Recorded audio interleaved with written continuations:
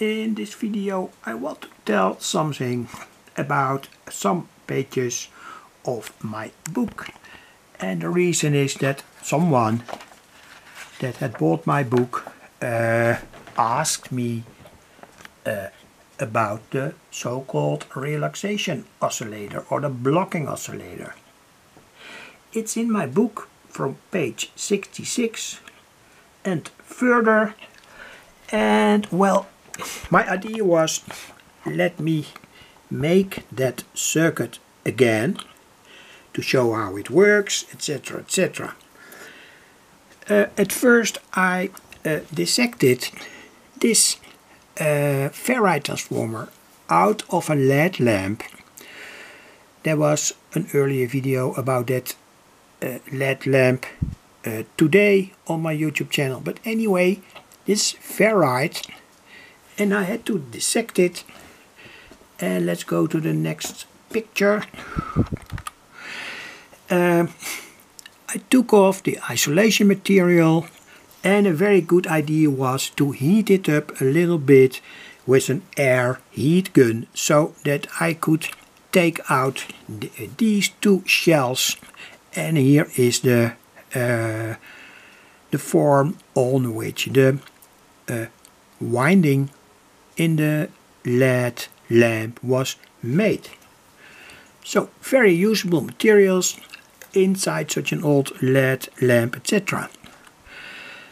I found by the way that uh, the winding out of that original LED lamp was more or less shortcut.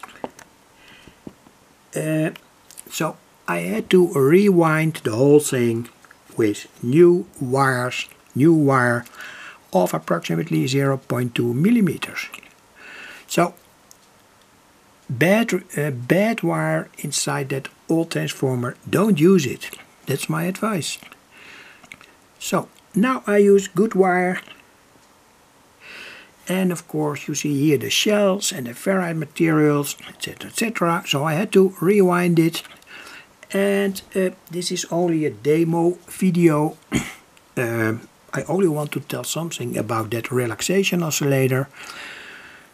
Um, 40 windings here and here also 40 windings.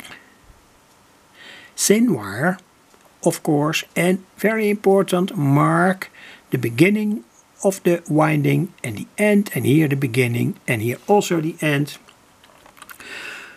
so 40 windings here 40 windings there and on the secondary I wound 110 windings.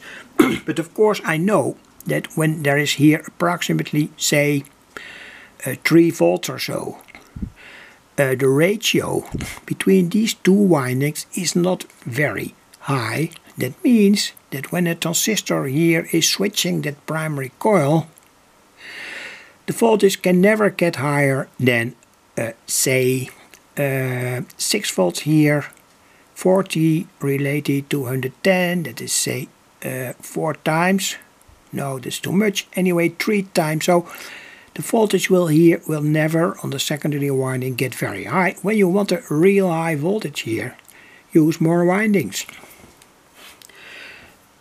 And the thing is here that uh, I wanted to show that how that circuit works. It's a kind of very basic circuit that always works. So here the more definite ID.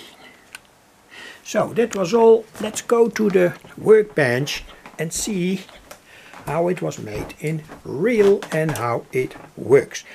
And I wanted to name this video under the title The Unexpected um, Behavior of uh, Relaxation Oscillators.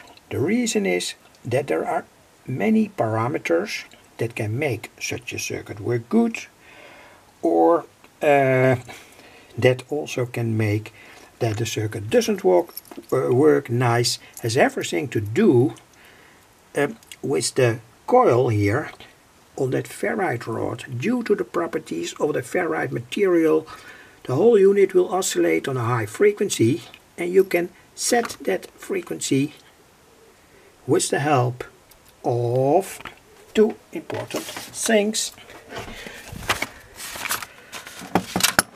Sorry for all the movements. Two important things. This is by the way the schematic. Two important things, they are here.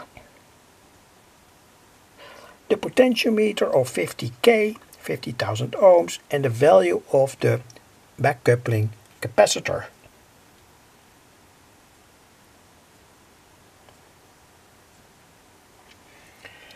Pen over somewhat first. I made it with 2 times a BD139. Their amplification factor is approximately 150.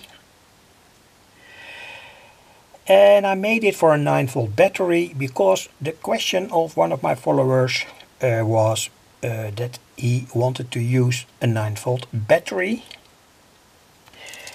and perhaps this is a, a schematic that is more easy to understand. That's this schematic.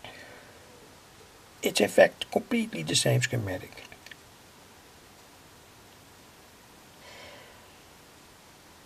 I added here by the way a 10 microfarad capacitor. Don't solder it parallel to the battery because of the leakage of such a 10 microfarad capacitor it can deplete the battery. I say here that you can use a bicycle lamp but you can also use a 10 ohm resistor. I tried at first a 2.7 ohm resistor and you can surely see that it burned out. That has everything to do with the unexpected uh, behavior of such a, in a certain way, wild oscillator. It can oscillate very properly and neat, but it can also oscillate wild. And that's what I want to show in this video. I don't want to make it too long, by the way. So, let's switch it on. Connect the battery to the unit here and let's see what the oscilloscope can bring in terms of oscillations. Never connect your oscilloscope to the high voltage winding, so never here to the high voltage winding. And say, let's see what happens. This is the wild oscillation of this relaxation oscillator. The waveform is more or less unpredictable but it works and it gives out a high voltage. And because the ratio between the primary and the secondary is not uh, very high, I only read here on the scale uh, of 120 volts, 50 volts, 50 volts, that's what it is giving out. And also because of that strange oscillation. When I touch the meter so my meter is also connected to the uh, secondary winding it forms a uh, inductive and capacitive load. So when I touch the meter you can see the voltage go up. That's a part of the strange phenomena of this type of oscillator. Well and now I'm going to turn the potentiometer here 50k and let's see on the scope what that effect is. Oscillation stops. Always a bad thing when the oscillation stops. A high current can flow that can damage the transistors. A reason is that the 10 ohm uh, resistor was soldered in or a, a 6 volt bicycle lamp. In such a case the bicycle lamp will start to light up. Turn the potentiometer back again and here we have another waveform and perhaps you have heard it that on a certain moment the circuit starts to beep. I hope I can reproduce that. Yes, here. Perhaps you can hear it. Now that transformer, the high voltage transformer, starts to beep. And it means that the whole circuit is oscillating around 14 kilohertz, 14,000 hertz. But uh, like I have showed, when you turn that potentiometer, you don't hear that beep. That means that the whole oscillator oscillates on a higher frequency and even on a wild frequency. And when you have studied the waveforms that I showed earlier, this is a complex waveform, different frequencies at the same time, by the way. But when we are really going wild, it's here. This is really wild. Turn the 50k potentiometer. This is moderate wild, etc. etc. Here it starts again to be a little bit wild. Different frequencies at the same time. That also means that such an oscillator can give out an enormous high frequency noise. Anyway, I hope it was a little bit interesting. Thanks for watching.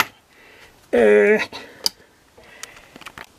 in the original schematic you see here a neon tube uh, because the ratio of this demo circuit, uh, the ratio between the windings is not very uh, high. The neon tube doesn't want to work in this case it needs approximately 1000 windings or so to make that neon tube light up. But I connected a light emitting diode. And on a certain moment when I'm lucky the light emitting diode will start to light up. When the transformer gives out so here you can see it certain voltage so on this moment, with this setting of the potentiometer, there is real energy straight out, out of the secondary. So with some oscillations, no energy is straight out. But on uh, other oscillations, waveforms and frequencies, energy is straight out. So I think here is the ideal point though, very important, sometimes such an oscillator, this oscillator doesn't want to start.